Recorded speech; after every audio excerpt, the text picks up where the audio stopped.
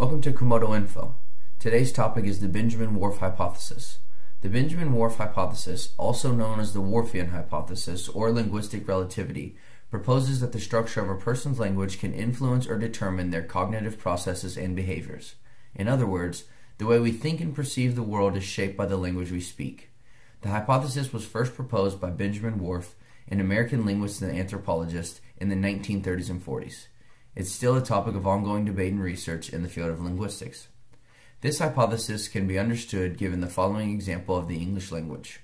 English has a large number of words to describe different types of emotions and feelings, which could lead Americans to being more attuned to their emotions and able to express them in a more nuanced way.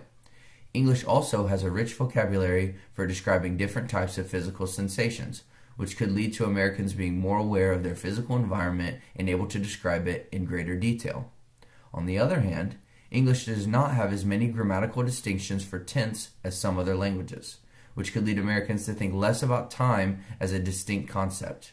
Additionally, English doesn't have many words for different types of family relationships, which could lead Americans to think about family in more general terms. It's important to note that the Whorfian hypothesis is a topic of ongoing debate and research in the field of linguistics, and not all researchers agree with this hypothesis.